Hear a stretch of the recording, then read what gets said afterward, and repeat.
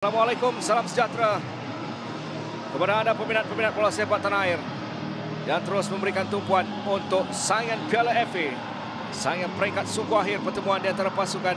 Tuan Rumah JDT akan turun berdepan dengan pasukan Penang FC